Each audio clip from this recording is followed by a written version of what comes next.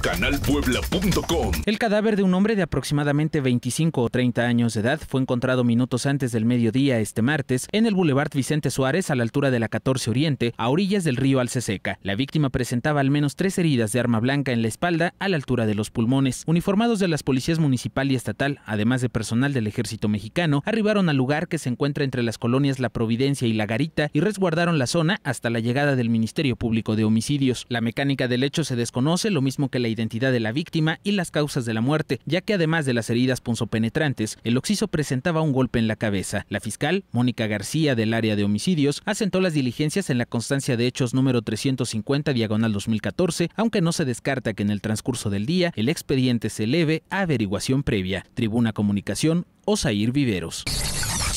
canalpuebla.com